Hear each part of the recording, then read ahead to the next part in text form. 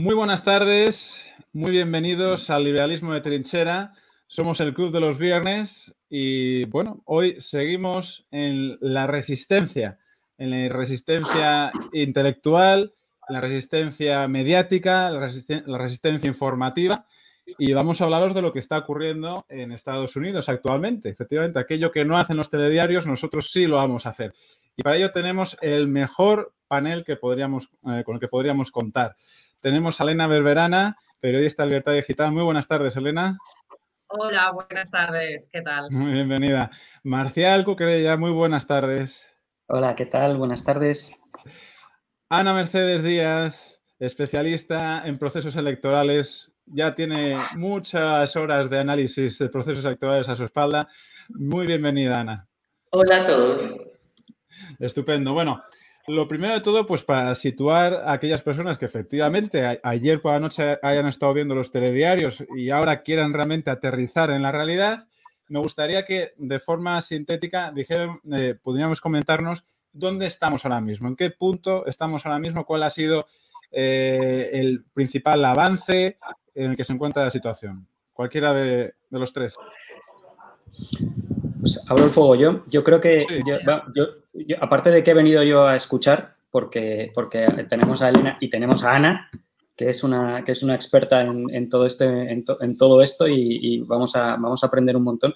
Yo creo que la, principal novedad ha sido el, el movimiento escondido que tenía Trump con, el, con la demanda de Texas en, la Corte Suprema. Eh, y, no solo eso, sino todos los, todos los amicus brief que se han presentado por parte, de, por parte de, todos los, de todos los estados que han ido acompañados, me parece que han sido 20 en total, y 17 estados que se han puesto del lado de Pensilvania. Entonces, el, el mapa está totalmente partido por la mitad. Si uno ve cómo está Estados Unidos, está dividido por la mitad, una franja roja que hay en medio y dos lados azules eh, que son los que apoyan a los demócratas. Eso es eh, eh, significativo, suficientemente significativo como para que alguien en España hable de ello y no sigan diciendo que, cuáles son los appointments, cuáles son los nombramientos del señor Biden para su, para su gobierno, hipotético gobierno virtual, si es que sucede y, demás. Entonces, bueno, lo primero es el asombro absoluto de que no hay nadie todavía que diga absolutamente nada. Eso es impresionante. Sí, yo opino lo mismo, ¿no? Eh, justo eh, los marciales se ha dado cuenta, o, Ana, el mismo día que se da, se comunica la demanda de Texas y la adhesión de 17 estados, YouTube lanza la noticia de que eliminará el contenido de, bueno, pues de fraude electoral, todo aquello que se muestre, ¿no? Es decir, cuando han visto que la cosa se ponía más seria aún y que ya es muy complicado poder sortear ese tipo de información y ocultarla, porque claro, estamos hablando de 17 estados, ¿no? Y de ese mapa dividido, esa guerra legal abierta que hay ahora en Estados Unidos, pues eso a nivel mediático es al final complicado, ¿no? Eh, poder eh, silenciarlo. Y realmente lo que han hecho las plataformas es aumentar aún más la censura. Y yo me pregunto, eh, YouTube, que es de Google, ¿no? ¿Por qué está tan desesperado en censurar este tipo de contenidos? Porque si para ellos su narrativa es que Biden ganó las elecciones, pues ya pasaron y Trump no tiene ninguna prueba, ninguna evidencia y aquí no hay batalla legal que se dirima, pues qué temen? ¿Por qué tienen que eliminar ese contenido? ¿no? ¿Por qué eh, Twitter sigue poniendo esa, esa etiqueta ¿no? censora en los contenidos y dicen que son dañinos. Yo, sinceramente, esta semana me ha asombrado de la gravedad de la situación en la que nos encontramos a nivel mundial y a nivel mediático, sobre todo a nivel mediático, porque estamos viviendo una censura totalitaria muy típica de, estados como, o sea, de países como China.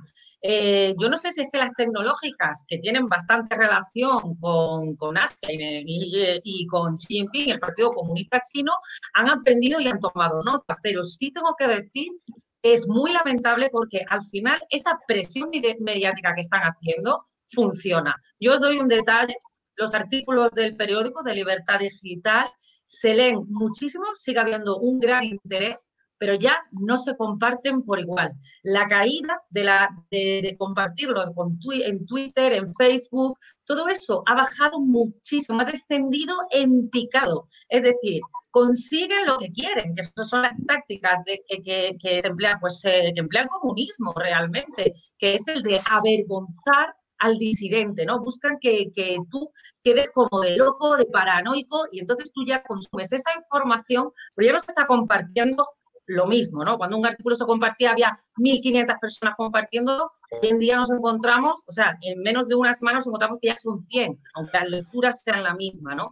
Por lo tanto, al final las intenciones que tienen funcionan, pero sí que hay una gran resistencia, tampoco quiero ser tan pesimista, ¿no? Sí que hay una gran resistencia que, que se entera, pero la mayoría ya la tienen confundida y eso es, y eso es real. Entonces, si esa, esa, esa, están levantando una alambrada eléctrica, ¿no? Contra toda esa información que consideran dañina y realmente, pues eso es lo que, pasó, ¿no? En el comunismo, ¿no? O sea, tendremos que volver a derribar el muro de Berlín, digo yo. ¿Cómo lo Bueno, mira, eh, yo le, primero yo le doy gracias a Dios por darme la oportunidad de estar con ustedes. Le doy las gracias al Club de los Viernes, a ustedes que me están acompañando en el panel, a todas las personas que van a compartir en este momento y los que los van a ver una vez que se transmita.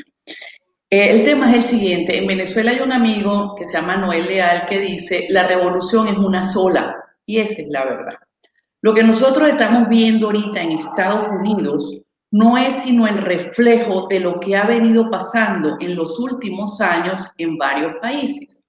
Es el uso del fraude electoral en un proceso electoral para asirse del poder, para quedarse en el poder. Esto que estamos viendo del fraude en Estados Unidos es tan real que todas las, aquellas compañías, aquellos millonarios, porque esto, esto tiene de todo, esto tiene compañías, tiene millonarios, tiene intereses de toda naturaleza, todos aquellos interesados en que esto no se sepa, están tratando de acallar el tema. Afortunadamente, y tengo que decirlo así, en Estados Unidos hoy contamos con un presidente como Donald Trump, que no, se que no lo ha aceptado porque él sabe que él ganó, él tiene las pruebas y se ha rodeado de un equipo de gente que lo sigue y que ha ido eh, tomando y demostrando todo lo que ha pasado con el fraude electoral. Fíjense que de, pasamos de una negativa, la gente decía no hay fraude, a un, bueno, hay un poco de fraude. Bueno, el fraude no es generalizado y así hemos ido avanzando hasta que en definitiva lo que va a haber al final es el destape de este descomunal fraude que se ha cometido en Estados Unidos. En Estados Unidos, digamos que se, están llevando tres vías. La vía que están llevando por los tribunales a la instancia de los, eh, de los estados, eh, en Georgia, en Pensilvania, la vía que está llevando Cindy Powell que al final va a ir con el tema militar porque se está violando la seguridad de Estados Unidos y lo último que ha sido la demanda de Texas. ¿Qué es lo que pasa en Estados Unidos? Recordemos que Estados Unidos es una federación de estados. Es, cuando yo digo Estados Unidos de América, es como si dijéramos Países Unidos de América. Cada estado tiene su propia constitución, tiene su propio poder ejecutivo, su propio poder legislativo, su propio poder judicial. Pero todos están en una federación, ¿me entiendes? Son federados. Hay una constitución federal que los rige a todos, que los une a todos, que debe ser respetada. Esta constitución en esta, como, tiene como derivado lo que se llama el Código de Estados Unidos, que no es otra cosa que la compilación de todas las leyes. En ese Código de Estados Unidos, en la sección 15, se define que, se, se, definen reglas en cuanto a la votación, a la integridad de las elecciones, cómo debe ser un voto legal, todo ese tipo de, digamos, de, de, sí, de términos que tienen que manejar los estados. ¿Qué pasó en este proceso electoral del 2020 y por qué Texas está demandando? Texas está demandando porque dice, estos estados Michigan, Pensilvania, Georgia, violaron, violaron la ley federal. ¿Por qué? Porque ellos permitieron, fíjense bien, ellos abrieron la puerta a la vulnerabilidad del proceso electoral en sus estados. Eso es lo que ha pasado. Y eso es lo que se ha ido demostrando a todo nivel. Miren, cuando en Pensilvania, a través de las audiencias públicas, se demuestra que en Pensilvania se mandaron 1.800.000 boletas, que se recibieron 1.400.000, pero se contabilizaron 2 millones y medio. Por favor, ¿de dónde salieron esas 700.000 boletas más que se contabilizó? ¿Me entienden? Todas esas declaraciones que hay de otros estados, el chofer de UPS que trasladó 280 eh, mil boletas de Nueva York a Pensilvania, los videos que hemos visto en algunos estados sacando maletas de boletas, o sea, definitivamente el fraude en Estados Unidos ha sido descomunal, ha sido bárbaro. Y es la oportunidad que estamos teniendo en el mundo de tomar conciencia de esa situación y que los países, la gente entienda que hay que cuidar la democracia, que hay que cuidar sus sistemas electorales, que cuando le dicen a usted que le vamos a cambiar una ley, una norma, bueno, ¿por qué la van a cambiar? ¿Cuáles son los, los efectos de ese cambio?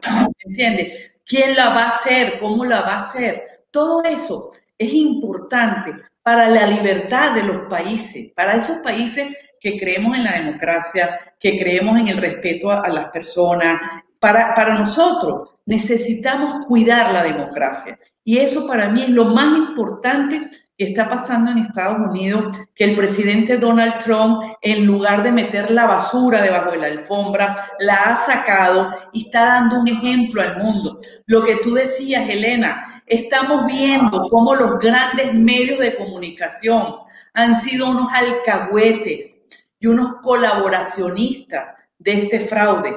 Durante dos, tres meses acallaron el tema de Hunter Biden, el hijo del, candidato John Biden, y ahorita lo sacan como para, vamos a decir, que, que desviar un poco la atención de lo que está pasando. Los grandes medios de comunicación han sido los corresponsables del fraude, pero no solamente en Estados Unidos, lo tenemos en todos los países. Me imagino que ustedes en España también tienen esa situación. Y si hacemos un recorrido a otros, a otros países es lo mismo. Entonces, aquí lo importante es eso, es la verdad, es que lleguemos a la verdad y que al final del día todos los países tomemos conciencia de la situación y hagamos algo por cuidar nuestros procesos electorales. Yo fíjate que es importante. Fíjate que hay dos, yo, veo dos, dos, caminos aquí porque eh, todo, lo que, todo lo que dice Ana, que lo ha resumido todo perfectamente, eh, em, además hay un, hay un, la demanda de Texas no tiene nada que ver con el, con el fraude. O sea, Ana conoce bien a Sidney Powell, me consta que conoce muy bien a Sidney Powell y que de hecho ha trabajado con ella eh, y conoce muy bien cuáles son sus intenciones y, y, y, y lo a largo que me fiáis el, el tema de, del, del, fraude y, todo lo demás y cómo se va a poder ir demostrando, pero no tiene las prisas que pueda tener, que pueda tener la otra vía, que es la vía, la vía legal de, de conseguir que Biden no jure el 20, de, el 20 de enero porque no es el presidente legítimo. Esa vía es, es una vía que no tiene nada que ver, que es una vía completamente constitucional tiene que ver, va directamente al corazón de la igualdad de los americanos ante la ley. Va directamente al corazón de lo que, de lo que significa y, redactaron los padres fundadores en, hace 244 años. La idea es única y exclusivamente que ha habido cuatro estados que han aprobado inconstitucionalmente y en previsión de las elecciones una ley sin contar con los, con los procedimientos debidos sin contar, sin contar con la aprobación del legislativo, que era lo que tenía que pasar. Y al no contar con la aprobación del legislativo, ha habido un juez, un gobernador y un secretario de Estado que han dicho esto es ley, cuando no puede ser ley porque es inconstitucional, va contra la Constitución americana y contra la Constitución de los propios estados, que son dos. Pero lo han hecho ley, de forma ilegítima.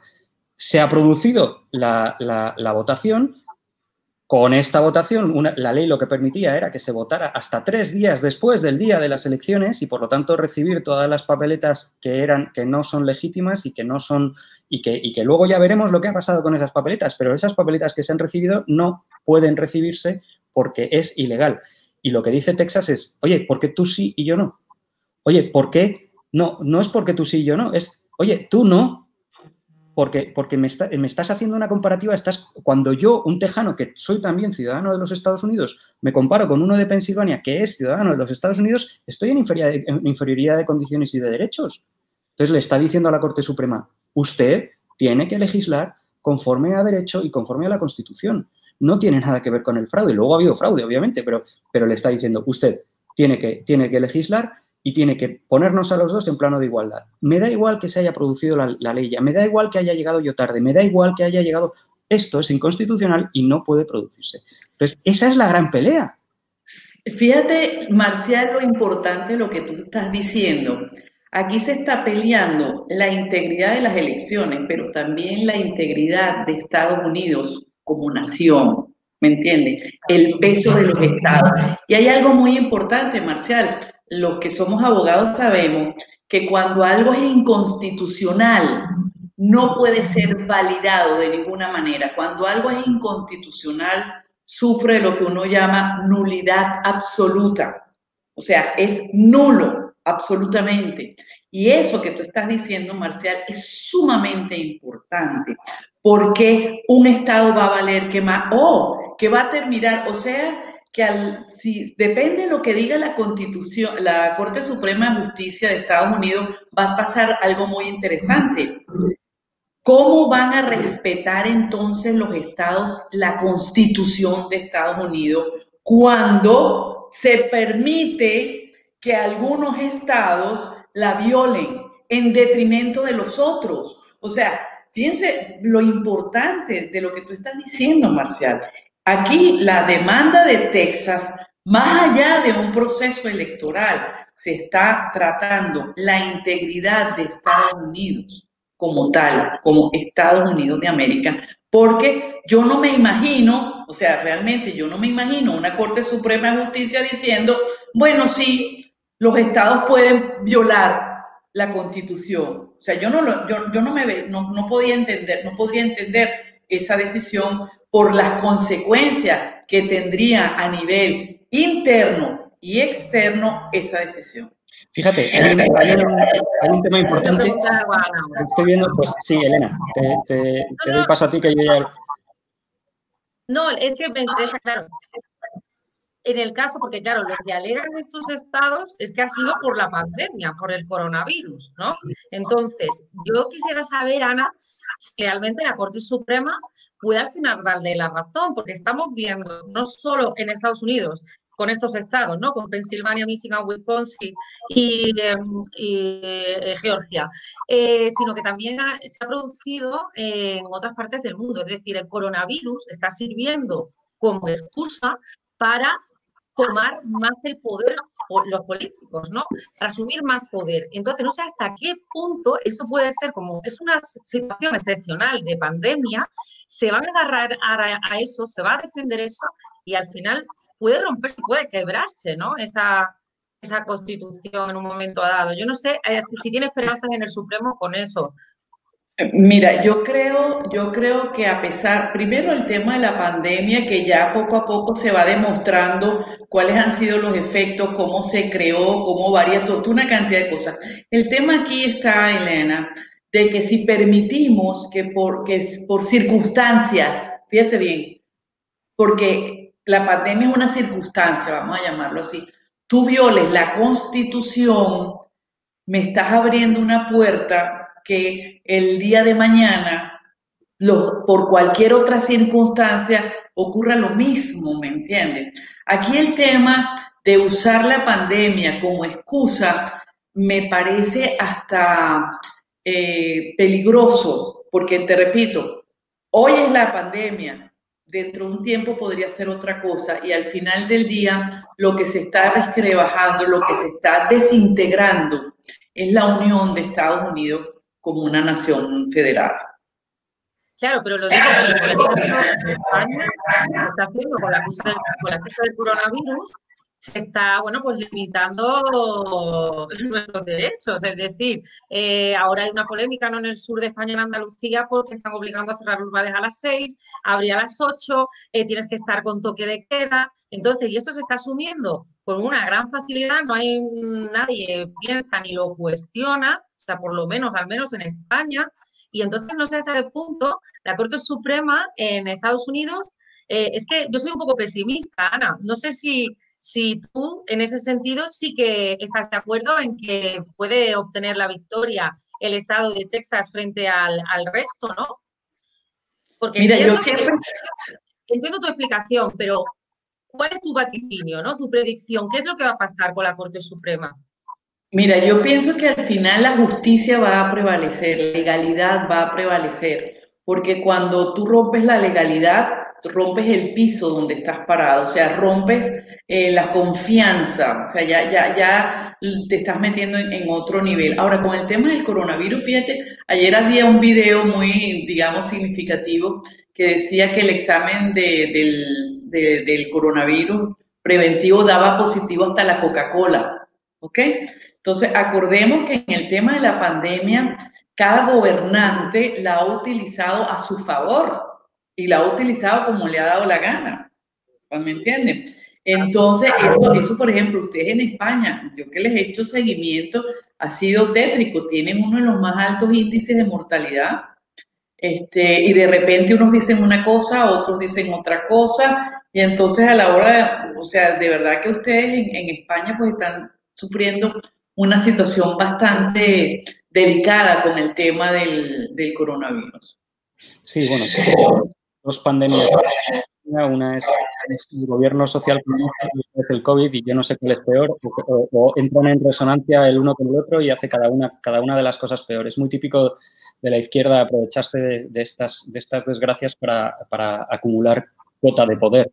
Pero, mm. de, la, de la, pero tú también lo estás viviendo en, en Venezuela, Ana, que, que, es así. O sea, el, el, la, la, situación de la, de la dictadura eh, chavista es que, bueno, ahora aprovechándose de todo esto han hecho, han hecho unas elecciones legislativas y, bueno, pues ha sido como un juego de niños, todo el mundo ha aplaudido, todo el mundo ha mirado, bueno, ha sido, ha sido, ha sido obsceno.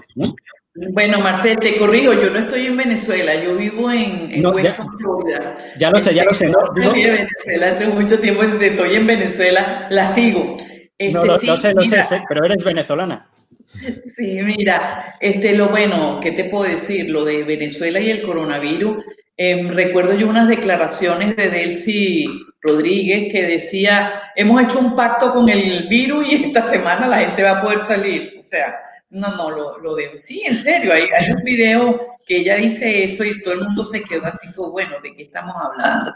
Bueno, eh, mira, Delcy es más famosa en España por haber aterrizado su avión, pero ella no pisó de una forma mágica llegó a Barajas, volvió y todo de forma de una forma muy extraña para la física. Ábalos, lo explicará algún día. No, lo que pasa es que, fíjate, fíjate, Vamos a por evitar. Tú hablas del viaje de Delcy a España y fíjate cómo quedó eso, le echaron tierrita y no ha pasado nada. Fíjate cuando hablamos de por qué la, como dice uno, la revolución es una sola. No olvidemos que el virus chino surge en China y yo, yo estoy de acuerdo con el presidente Donald Trump, ese es el virus chino. Ellos, ellos lo, lo sacaron de ahí y han sido los más beneficiados en el tema. Económicamente se dispararon, políticamente han entrado en muchos sitios, o sea, de verdad que los más beneficiados con, esta, con el coronavirus ha sido China. Ahora que nombráis a China, sería interesante hablar sobre, sobre esas revelaciones que hemos tenido durante esta semana de cómo una espía eh, china se introdujo en las más altas esferas de la política norteamericana, ¿no? ¿Qué sabemos sobre eso? Mira, no solamente la espía china, sino que se han destapado, yo digo destapado porque se están descubriendo relaciones entre algunos, digamos, funcionarios o funcionarios de alto nivel de Estados Unidos con China.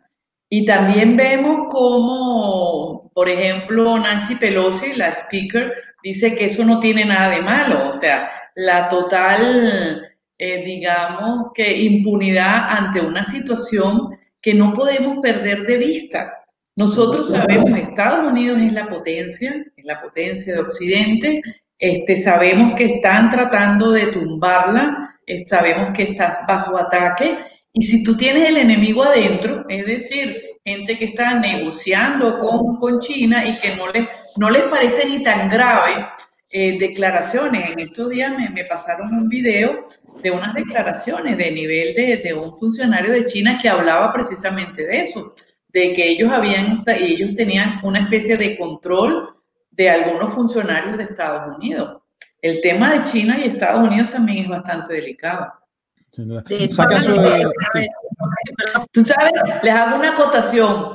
Yo estuve en una reunión con unos funcionarios de Rusia, de Rusia y ellos me dijeron, estoy hablando hace como un año y medio, ellos me dijeron, mira Ana, el verdadero enemigo de Estados Unidos no es Rusia, es China, porque al final China va a terminar peleando con Rusia y con Estados Unidos y nosotros para vencer a China tendremos que trabajar unidos. Y te digo, eso fue hace año y medio y yo me quedé pensando, y claro, ahora que lo voy viendo y voy entendiendo algunas cosas, digo, mira, a lo mejor los rusos tenían razón, no lo sé. ¿Qué comentabas, Elena? Sí, porque como hablaba de las relaciones con China, eh, Ana, eh, Sidney Powell, eh, si no me equivoco, y Linwood en Georgia están acusando al gobernador y al secretario de Estado de tener relaciones con, con China, ¿no? No sé qué sabes sobre esto, qué nos puedes aclarar, porque estamos siguiéndolo, pero... Mira, no solamente lo han dicho, sino que, que tienen las pruebas de eso. Mira, Cindy yo la admiro muchísimo, me parece una mujer con muchísimo carácter, muy inteligente, con un gran prestigio y no se va a arriesgar a decir algo de lo que ella no pueda probar. ¿Ok? Entonces, podemos contar con eso. Yo, te, yo poco, digamos, el, conocimiento que tengo de ella es ese. Este, tiene las pruebas y como, como al igual que Donald Trump, va a llegar al final de todo esto. O sea, ella, Giuliani, Linwood, o sea, hay una cantidad de gente, eh, digamos, de alta valía, de, de, digamos, de prestigio, que están uniéndose a este tema, porque volvemos a que se trata de defender la integridad de Estados Unidos, ya no solo la integridad electoral, sino la integridad como nación. Tú, de hecho, Ana, has participado en, en, dos de las demandas que ha elaborado Sydney. ¿no? ¿En qué, ¿De qué manera has participado y qué contenido has aportado? Sí, mira, este, sí, yo estoy, mi testimonio está siendo presentado en la demanda de Michigan y en la demanda de Georgia. Este, precisamente porque yo fui funcionario del Consejo Nacional Electoral durante 25 años, ¿ok? Eh, yo entré en 1979 y salí en el año 2004. Eh, entonces, yo, mi testimonio en relación a las actividades fraudulentas del régimen de Hugo Chávez en su momento y ahora de Nicolás Maduro, pues es desde el punto de vista técnico, que fue lo que nosotros vivimos en Venezuela. En mi caso, cuando se dio la elección el 15 de, agosto del 2004, ya yo había salido del organismo, porque a mí me votan el 2 de marzo del 2004. Sin embargo, a mí me hacen llegar el contrato, una copia del contrato de Smartmatic. Esa copia yo la, entregué, decirlo, se la, la, entregué a los abogados, este, porque ahí se evidencia que no hubo ninguna licitación, eso fue un,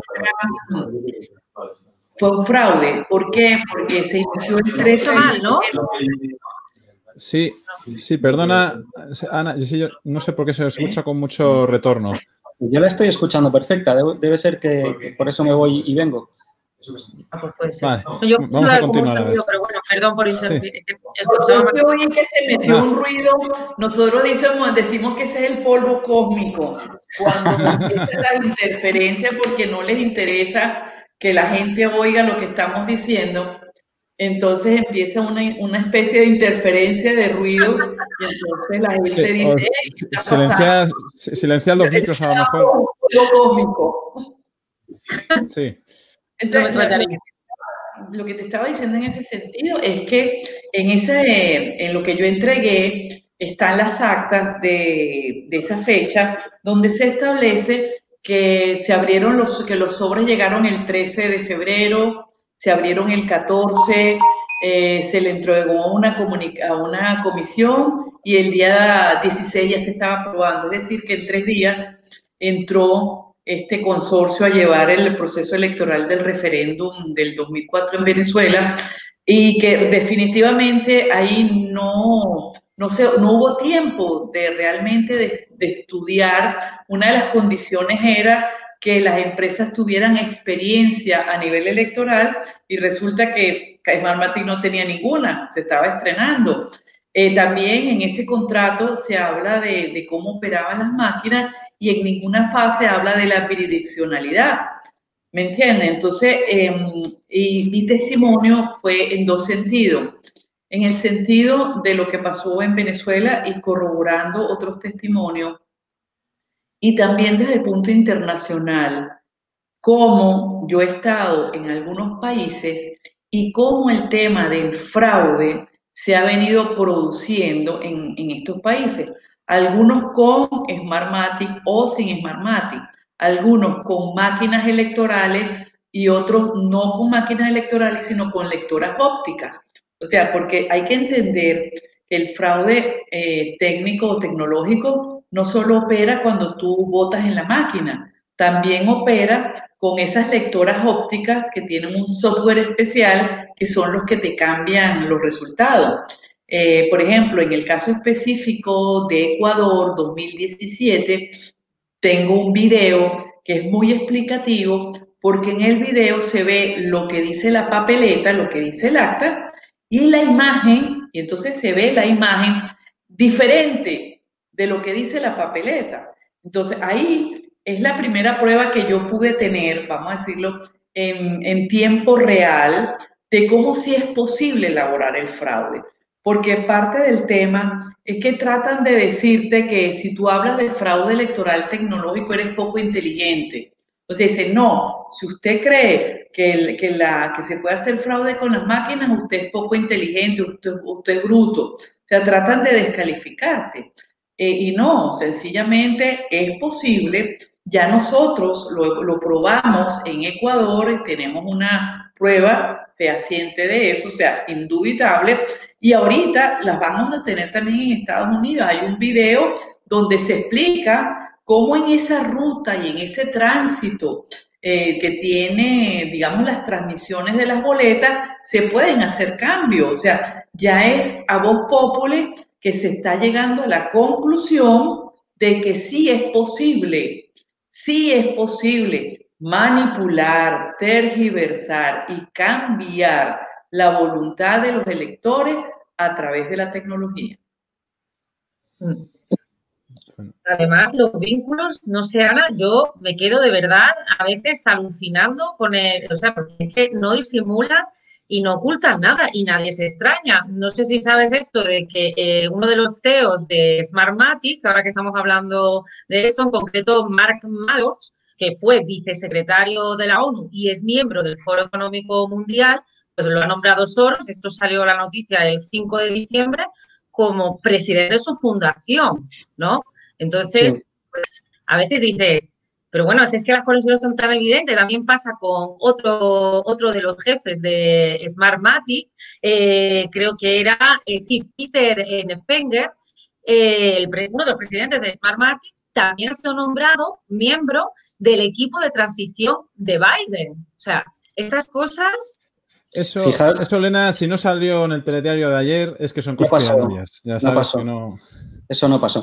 Yo, fijaros, que, es, muy curioso todo lo que está pasando. Eh, ahora mismo se están, están metiendo en el, en el, docket de la Corte Suprema, cada uno está metiendo lo que, lo que considera. Ha habido un movimiento muy divertido ahora de, que Texas eh, eh, puso su demanda, Pensilvania, Michigan, Wisconsin y Arizona, perdón, y, Georgia pusieron su respuesta. Texas volvió a responder, una respuesta muy divertida, diciendo eh, cómo, cómo me saca usted jurisprudencia de sus propios juzgados cuando yo no puedo apelar en ese juzgado de su propio estado. Yo lo único que puedo hacer es apelar en, la Corte Suprema, lo cual es bastante inteligente.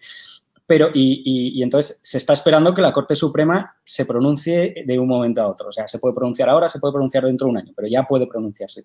Pero ha habido, ha habido ahora mismo un amicus brief de estos, una, una, ha subido una demanda también uniéndose a la demanda de Texas eh, en nombre de Nueva California y Nueva Nevada. O sea, eh, eh, que no existen, pero que tienen capacidad de, emitir un amicus brief. Hace cinco minutos, un abogado que dice que es el Attorney General de Nueva California y de, Nueva Nevada, hay ahora mismo en el, en el, en el docket de la Corte Suprema, porque ya está viendo excisiones dentro de la propia, de la propia, del propio país. O sea, esto, tiene, que, tiene, que, tiene que enfrentarlo de alguna manera a la Corte Suprema, porque si no, la división que se va a producir va a ser de, de proporciones bíblicas. Mira, Mira, dos cositas. Uno, diste un nombre muy importante que es George Soros, que al parecer está detrás a nivel mundial, porque George Soros está metido, cuando tú buscas, mira, ha estado metido en casi todos los países. O sea, no, no, no, lo de George Soros es impresionante. Eh, a este señor hay que estar pendiente de cómo actúa, porque está, él, por ejemplo, es especialista financiando algunos grupos que uno llama de desestabilización.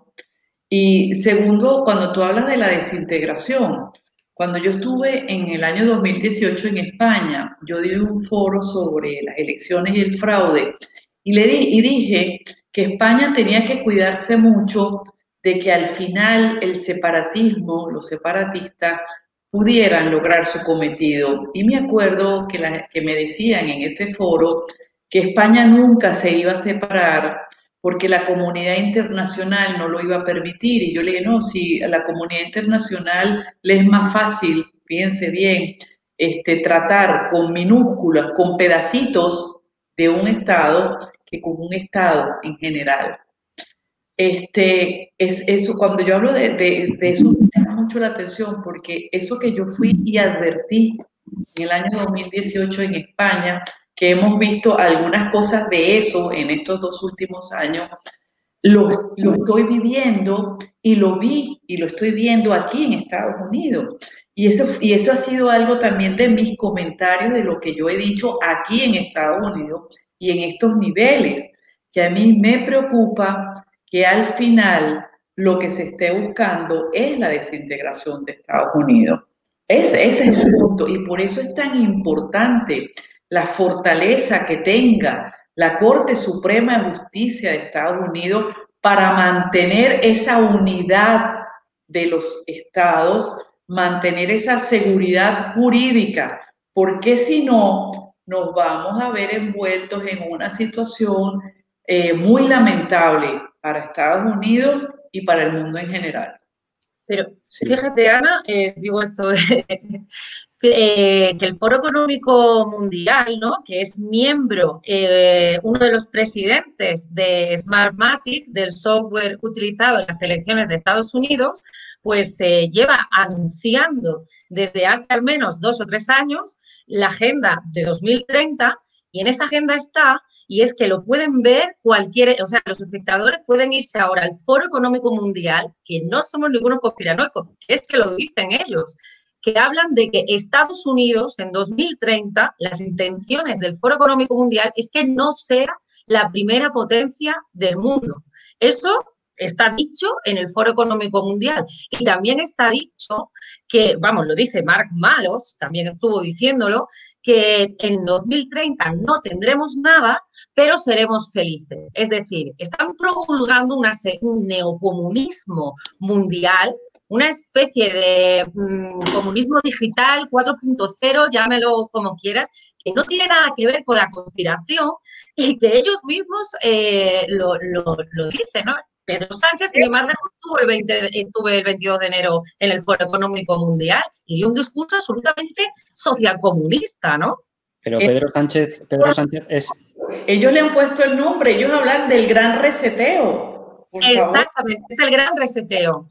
Y, la nueva, y la nueva normalidad. Y, pero bueno, darle, intentar entender que Pedro, intentar eh, eh, eh, comprender que Pedro Sánchez entiende todo esto, no, no nada. O sea, lo de la Agenda 2030 a él se lo han dicho, que es lo que tiene que hacer y, listo. Yo, vamos, Pablo Iglesias probablemente sí que sepa lo que es la Agenda 2030, sí que sepa lo que hay. De, de hecho, es el encargado. Es el encargado en España. Es, el responsable de la Agenda 2030. Podemos estar tranquilos entonces. A mí dame, claro, a, mí dame, a mí dame lo gordo, que, es la Agenda 2030, que es lo que va a cambiar la mente de la gente. Ah, eh, una, una, solo una puntualización con respecto al, tema de Soros, porque cada vez que se habla de Soros hay mucha gente que ha conseguido que parezca que es, que es una teoría de la conspiración y, y, solamente para que, para, para que la gente entienda que no, que no es una teoría de la conspiración. George Soros es una persona que se hace famosa quebrando la Bolsa de Londres. O sea, eh, es, es una persona que que se mueve y hace dinero y se ha hecho, es el enemigo público número uno de Inglaterra, se mueve y ha hecho dinero quebrando la bolsa de Londres y, se mueve y hace mucho dinero con la inestabilidad. Entonces, detrás de todos los movimientos inestables es donde este señor es capaz de hacer dinero. ¿Por qué? Porque se pone a corto en el momento, eh, perdón, pero, o sea, lo, lo que hace es las cosas pierden su valor, él compra y en el momento que crecen vende y lo, vemos constantemente. ¿Por qué Soros en Indra eh, eh, compra un, X por ciento y luego se va automáticamente? Porque compra barato, vende caro. Es, ah, ¿Por qué? ¿Y, quién genera la, sensación de que Indra es estafadora? Que no lo es, que Indra es, tal, que Indra es no sé qué. George Soros, los independentistas, los movimientos de Podemos, los tal, los no sé qué. O sea, es una persona que se mueve en la, en la eh, se, mueve perfectamente en, en la falta de estabilidad, en la inestabilidad. Entonces, no hay cosa más inestable y no hay cosa que más beneficie al señor Soros que la independencia de, Cataluña, que los movimientos de París, que los movimientos de, en China y, por supuesto, que la separación de, la principal potencia del mundo, que es Estados Unidos. A, raíz de lo que tú estás contando, Marcial, ya más allá de las cuestiones financieras, que sin duda son muy importantes, él mismo, en un vídeo que cualquiera puede encontrar en YouTube, reconoce en una entrevista que siendo él de raíz hebrea, trabajó para los nazis vendiendo eh, eh, judíos en tiempos de los, de los, alemanes nazis. Es decir, o sea, pasaba información para que los nazis capturaran a, judíos, siendo, él también. Eso no lo sabía os, y, se, y, se, queda más, más ancho que, que, alto y le importa un ¿Qué pepino. ¿Qué tío más repugnante? Os recomiendo que lo busquéis en YouTube porque aparece, o sea, no es una, lo que tú dices, Marcial, no es una teoría conspirativa, está ahí para, y lo que comentaba Elena, está para el que quiera, el que quiera verlo. Yo invito a todo el mundo a que entre en YouTube y busque ese vídeo en el que solo reconoce que él, siendo de raíz hebrea, él vendía judíos. ¿Y sabéis qué explicación daba? Decía que, bueno, total, si no, lo, si no lo iba a hacer él, lo iba a hacer otro. Así que mejor ah, a ser. lo, he visto, lo he visto. Es, la, la, os recomiendo que lo vean. ¿no? Es, es el, el, concepto básico de la banalidad del mal, ¿no? De, de, de Ana Arendt. Es, es, increíble. La banalidad del mal. Nosotros decimos que lo mejor que hizo el diablo fue hacer creer que él no existía. Lo mismo está pasando con Soros, o sea, lo mejor que, se, que está pasando es que la gente crea que no está pasando, ¿me entiendes? Por eso nos toca, uno dice los despiertos, lo que sí estamos a otro, y, o sea, los que estamos en más conocimiento, porque hemos investigado más, nos toca ser insistentes y nos toca hablar y decirlo. O sea, nosotros, nuestro mm, propósito en la vida es despertar a las otras personas, es que sepan, que investiguen, no porque lo dice Elena, Marcial, el Club de los Bienes, no, sino que la verdad está ahí. Busquen la información y lleguen a sus propias conclusiones. De eso se trata. Sí, sí. Bueno, ¿qué tenemos ahora por delante en estos próximos días? Porque de momento creo que eh, los estados que habían sido demandados por parte de Texas y el resto de estados respondieron y nuevamente ha respondido a esa respuesta el estado de Texas, ¿no? ¿Qué tenemos ahora por delante? Texas se ha, anticipado al, movimiento, a la petición de la Corte Suprema de que Texas responda a la respuesta de, de, los estados demandados. Entonces se ha anticipado, ha hecho una respuesta que yo creo que ya tenía escrita porque ya sabía lo que iban a responder los estados demandados.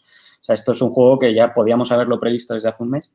Eh, y entonces ahora lo que, lo que estamos esperando es si la Corte eh, admite a trámite, entre comillas, el caso o no. Si la Corte admite a trámite el caso, desde luego lo que no es, lo que, lo que hay que tener muy claro es la fecha esta del 14 de diciembre, eso es falso. O sea, el safe harbor no existe. La única fecha que es inamovible, que viene en la Constitución y que es así, es la del 20 de enero.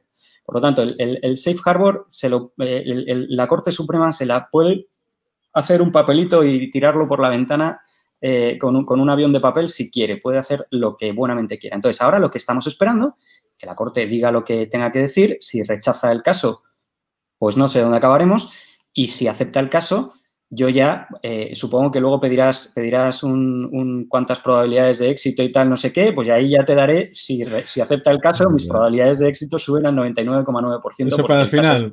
el caso es impepinable. Esa es, esa es la situación en la que estamos. O sea, ahora mismo lo más importante es lo que puede pasar en dos minutos, yo sigo con mi ordenador aquí, lo que puede pasar en dos minutos o puede pasar cuando sea, que es que la Corte diga si acepta o no acepta. Totalmente de acuerdo contigo, Marcial, 100% estás en lo correcto, así es. Yo, eh, una cosa que tengo una, o sea, tengo una duda porque de verdad es que creo que puede llegar a hacerlo y visto lo visto, es la respuesta que le dio Pensilvania, o sea, desde el estado de Pensilvania al juez Alito, en lo que, bueno, pues le decían que a la Corte Suprema lo instaban a que se mantuvieran al margen, que vale, que sí, que a lo mejor había algo de fraude, pero que no se debería abrir esa caja de Pandora sí, porque se iban, porque se iban, a, porque iban a traumatizar los, los ciudadanos, porque el, trauma, el trauma nacional que se podía producir si se abría esa caja de Pandora eh, en base al crimen que ellos, habían que, ellos mismos habían cometido. Es que en la, respuesta a la demanda... que, en la respuesta a la demanda que han presentado esta mañana, lo que dicen es, o sea, básicamente están aceptando, aceptando que han cometido delito. Es que lo dicen, sí, es que lo dicen. pero me voy a justificar. Sí, efectivamente, hemos hecho esto y esto, pero es que lo hemos hecho porque había COVID. dices, pero bueno, o sea... Por, tu bien, por tu bien, lo han hecho por tu bien. Al final claro, lo han hecho por tu bien. Siempre. Sí, Mira, esto van a terminar por decir que todo lo hacen por nuestro bien, que es el discurso típico socialcomunista. Claro, como dicen por ahí, ellos te parten las piernas para que le agradezcas las muletas. Eso. Exactamente. Claro. Sí, entonces, a mí no me parecería nada descabellado que viéramos en un capítulo más avanzado ¿no? de toda esta historia de las elecciones de Estados Unidos que se está convirtiendo en una gran película. Yo no sé dónde están los productores de cine. Bueno, están todos aliados con, con el izquierdismo, están ocultándolo, pero vamos, están perdiendo una trama absolutamente impresionante, ¿no? Como productoras lo están haciendo bastante mal. Pero yo de verdad que estoy absolutamente alucinando y creo que el próximo capítulo será ver a lo que ya hemos visto, ¿no? A, los demócratas diciendo que en el fondo, haciendo declaraciones, teniendo los medios de comunicación a sus pies, como los tienen ya, diciendo que todo lo habían hecho y que se habían cambiado esas reglas, era por el bien de los ciudadanos. E incluso sé, y, y sé que puede pasar, porque así actúa la propaganda, en este caso la propaganda izquierdista, que muchos ciudadanos compren ese discurso y digan que es que es verdad, que lo estaban haciendo con el tema del coronavirus, algo que Donald Trump no supo gestionar bien, ¿no? Que es la narrativa de ellos. Y es que no me parece nada descabellado, porque menuda respuesta le han dado a, a, Pensilvania al juez Alito, ¿no? Oye, en el, en, el, en, el, en el año de la pandemia, qué maravilla, ¿eh? ¿Habéis visto esto?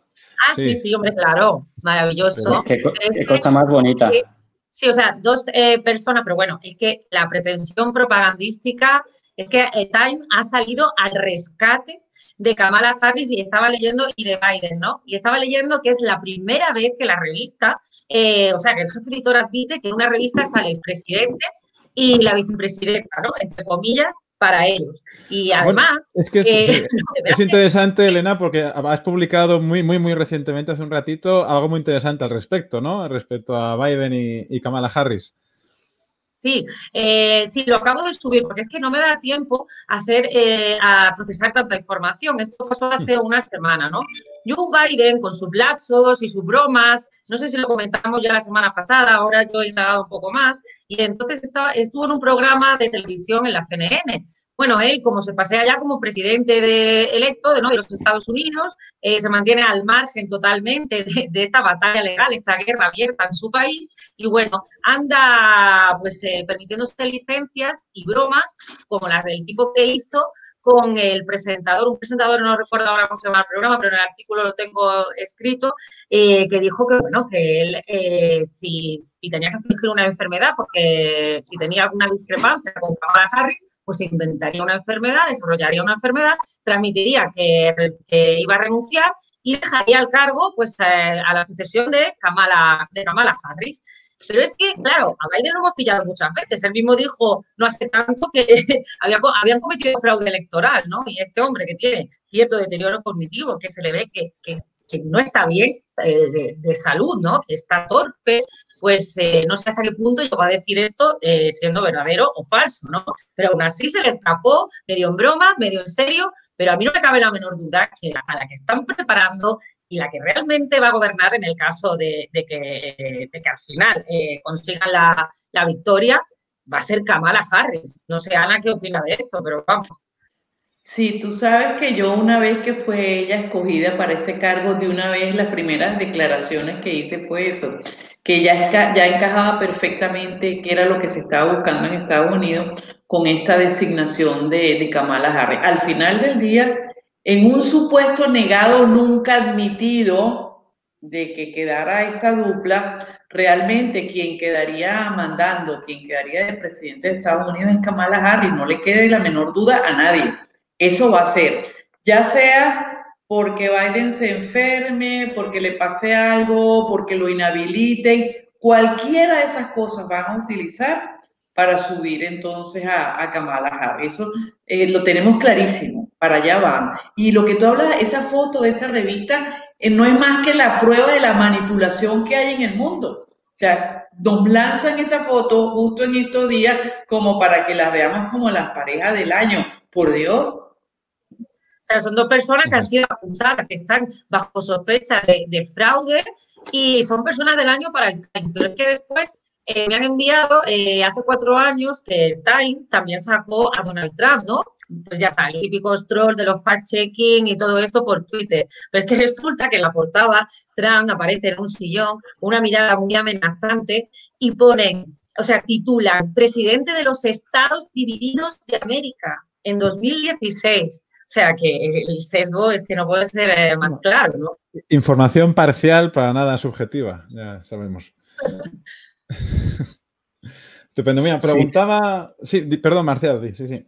No, eh, eh, hay, un, hay una fecha clave que, antes lo habíamos dicho que pasa ahora, porque estábamos en el segmento de qué va a pasar ahora, es eh, la fecha clave de los 45 días, me parece que son de la orden ejecutiva de, de, Donald Trump, que dijo que firmó la orden ejecutiva del 2018, dijo 45 días después de las elecciones, y eso me parece que es el 18 de, de diciembre en el que tiene el encargo la, agencia de inteligencia, de, que no es la CIA, la agencia de inteligencia de, los Estados Unidos de darle un informe exacto de la intervención y de la injerencia extranjera en, las elecciones.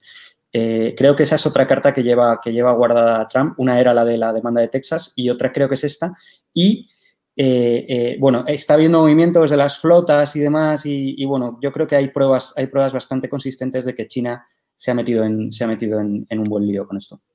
Sí, fíjate, Marcel, ahí es donde entra Cindy Powell, porque Cindy Powell tiene competencia para la jurisdicción militar.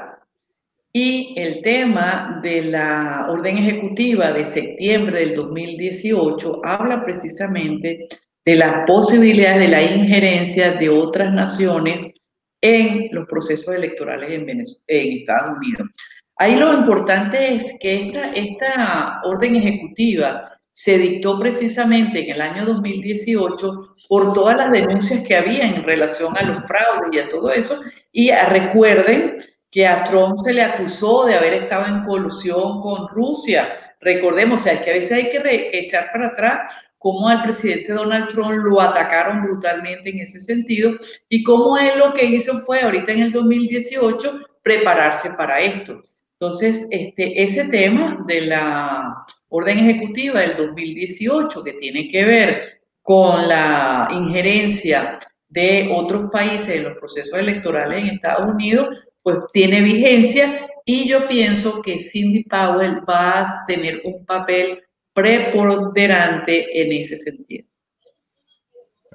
Bueno, nos preguntaba eh, alguien que nos está viendo, Diego Álvarez, decía, llego tarde, ¿puede ganar Trump todavía o no? Se le veía uno como muy, muy preocupado. Entonces vamos a lo que comentaba Marcial antes, a, ese análisis final sintético en el que os pido, bueno, Marcial ya ha perfilado un poco eso, ¿no? ¿Cuáles van a ser los próximos movimientos concretos que van a suceder importantes en estos días, entre hoy, mañana, los días muy próximos, y qué porcentaje a día de hoy otorgáis a Trump eh, de posibilidades de victoria y qué porcentaje otorgáis a, Biden? Las damas primero. Pues empieza Ana, que ella es la que está allí en Estados Unidos. Mira, mira, primero que Trump ganó con los votos legales, de eso no nos cabe la menor duda, es lo primero. Él ganó, él tiene los votos legales. Segundo, es cuestión de tiempo que quede ya definido esa situación. Eh, tercero, hay todavía mucha tela que cortar porque no hay crimen sin criminales. Y esto del fraude electoral, evidentemente, pues ha sido planificado y tiene sus ejecutores. Y todo esto va a llevar entonces, va a tener que terminar en el juicio de todas estas personas que tuvieron que ver en, el fraude en Estados Unidos. ¿Y qué porcentaje actualmente otorgas? Quiero decir que finalmente sea así. Es que yo estoy segura de que el presidente ganó por voto. Sí, no, no, es que, es que no puedo decir otra cosa porque sería mentirte. O sea, ¿desde cuál es mi perspectiva? Mi perspectiva es que ganó por voto, mi perspectiva es que se ha aprobado el, fraude y mi perspectiva es que Estados Unidos no se va a suicidar la, la federación. O sea, eso es lo que yo pienso. Estupendo. Gracias, Ana. Elena. Sí. Bueno, yo quiero pensar eso. Ya sabes que yo siempre soy un poco más eh, pesimista. Ya Marcial ya lo sabe, que no, tengo mucha confianza. Sí que es verdad que el tema de la, la demanda de Texas y la decisión de los 17 estados, a mí eso me da más esperanza, ¿no? Es decir, ahí más que nada por la razón que ha dado Marcial antes, ¿no? Estados Unidos no puede destruirse, ¿no? Como ha dicho, como ha dicho Ana, aquí ya se está dirimiendo algo más, que más allá del resultado de las elecciones, sino es la ruptura del país, ¿no? De los Estados Unidos. Yo creo que eso no puede pasar, pero es que visto lo visto en los tiempos que vivimos, en esos tiempos de confinamientos, coronavirus, eh, cómo nos cercenan las libertades, cómo YouTube dice que va a eliminar contenido y aquí no pasa nada, cómo Twitter, eh, los medios de comunicación manipulan y tampoco pasa nada. Entonces creo que, bueno, soy bastante pesimista. Espero que el tema de Texas termine por darle la victoria Trump, porque yo estoy convencida como Ana que creo que ganó Trump las elecciones de largo, lo que es imposible, que ya hemos visto muchas veces, que Biden sacara muchos más votos que el presidente más popular de Estados Unidos, que fue Obama, ¿no? En su momento. O sea, que eh, y además Biden, que es que no llenaba ni un, ni, un estadio, o sea, había cuatro personas viendo a Biden, lo hemos visto en muchas imágenes. Y cuando estaban los estadios llenos y siguen estando, pues, por ejemplo, en Georgia, que fue la semana pasada, ¿no? Donald Trump con Melania, pues fue apoteósico, vamos, como gritaban allí eh, lucha por Trump, que luchen los senadores, el, gobernador de, Georgia por Trump, ¿no? Para que tiene el día allí en, ese estado también. Parecía un concierto de Bon Jovi, algo así, sí. Total, y además han lanzado una campaña porque ellos están ahora, y yo lo entiendo, están llamando lo, que le queda es We the People, ¿no? Eh, lo que representa Sidney Powell y, y ¿no? Que es la gente, ¿no? Al fin y al cabo, esto es Trump, eh, la gente la mitad del Partido Republicano contra el establishment, el oligopolio mediático, las multinacionales, todas, y, y, después las tecnológicas, vamos, eh, o sea que es un monstruo enorme. Eh, dependerá, como siempre he dicho, de la resistencia que tenga la Corte Suprema, pero es que para mí la Corte Suprema siguen siendo personas, son humanos, entonces también puede pasar que al final el tema de la pandemia pues se convenza y, no dictamine, o sea, y, por esa coyuntura se escape en estos estados y al final termine Biden siendo presidente. Eh, ese, eh, ese, es mi, mi, punto de vista desde aquí. No es una opinión muy personal, pero creo que, bueno, que Trump todavía tiene muchas posibilidades. La semana pasada dije un 60, bueno, pues ahora voy a decir un 70 por lo de Texas, para terminar un poco optimista. Fíjate, Marcial, ¿eh? 70. Elena. Sí, sí, me he lanzado, me he lanzado. Estás, demasiado optimista para tus estándares. Sí, sí. es la única esperanza ya que nos queda, ¿no? Vamos, a creer. vamos a poner a Ana en precedentes. Es que en los anteriores programas, pues digamos que Elena ese porcentaje para Trump no era tan elevado, no era tan elevado. Entonces, bueno, poco a poco va subiendo, cada semana va subiendo. A mí, Texas, Elon Musk, ahora que se ha mudado a Texas, ¿no? Que, vimos el otro día su cohete maravilloso. Es que a mí Texas me convence, ¿sabes? Sí, sí, Texas, cuando, cuando Texas se mete, yo es que cuando Texas se pone algo... Bueno, yo les tengo un secreto, mis declaraciones las di yo en Texas. Eh. o sea, les, comento, algo. Yo estuve en Texas, en Dallas, Texas. Si no, guardé el ticket, o sea, lo del hotel, guardé todo porque dije, wow. Esa es historia. Sí, para mí es historia. Les voy a decir algo. Eh, para mí he tenido tantos años con el tema del fraude electoral, he visitado tantos países, he vivido la frustración de, la gente que, que, se ha calado ese fraude, porque óigame, esto que ha hecho Donald Trump ha sido realmente corajudo, como quien dice, o sea, no es así y, no, yo sé de, presidente, de candidatos presidenciales que también ganaron y no, y no quisieron asumir, ¿me entiendes? Entonces, para mí es como un cierre de ciclo, porque a partir de ahora, a partir de ahora y lo que pasa en Estados Unidos, yo creo que en todos los países la gente va a ser más cuidadosa de sus procesos electorales y para mí es como está pago. Así que sí, para mí es histórico. Estupendo. Marcial. Sí, yo, eh, eh, yo simplemente puntualizar para nuestros oyentes que son más inteligentes que yo, que, se den cuenta que, Estados Unidos eh, es una república, no es una democracia. O sea, es una república. El modo de elección del, de los, del presidente no es a través de voto directo. El presidente ya se eligió en, el 3 de noviembre. Ahora no va a elegir nadie al presidente. No, va, no, hay, no hay un juez que vaya a elegir al presidente. La, Corte Suprema no va a elegir al presidente. El presidente ya se eligió el 3 de, enero, el 3 de noviembre. Y como dice Ana, eh, eh, es, Donald Trump el que ganó, el que ganó esas, esas elecciones. Ahora lo que tiene que decidir la Corte Suprema es qué escalón es el que elige a ese presidente. O sea, qué, qué escalón es el que decide con los votos que se recibieron el que elija ese presidente. Entonces, eh, eh, tiene que elegirlo o los delegados de, que, que han mandado los estados en, Liza o lo elige la, Corte, la, la Cámara de Representantes que es el, otro poder que tiene perfecta, perfecta capacidad legal y todo de elegir, de decidir quién es el presidente. Entonces, no, es muy importante que, no caigamos en el discurso de que no, es que la gente ha elegido a uno, pero luego las élites han, elegido a otro, o realmente Trump haciendo legalismos ha conseguido quedarse. No, eh, es, un tema que es perfectamente legal, perfectamente constitucional y todo lo que está pasando es, es, es normal y se podía haber previsto. Y ha pasado más veces, no es la primera vez que, no es la primera vez que pasa. Eso es lo importante. Y yo creo, por dar, por dar la, cifra, que, si, si, la Corte Suprema acepta a trámite el, caso, eh, Trump ha ganado las elecciones y Trump jura el 20 de enero 100%. O tenemos ahí dos 100%, entonces, bueno, la verdad es que están los porcentajes muy significativos. Bueno, muchísimas gracias a los tres. Han sido unas opiniones valiosísimas en sí mismas y máximo en el contexto actual, que bien sabéis mejor que yo eh, cuál es. Así que os agradecemos muchísimo desde aquí desde el Club de los Viernes a los tres por estar con nosotros y bueno, agradecemos también mucho a todos los que nos han estado viendo y nos verán en adelante. Os animamos a, a seguirnos y nada, mucha fuerza a todos y seguiremos luchando por el bando del bien. Un fuerte abrazo. Muchas gracias. Saludos, muchas gracias.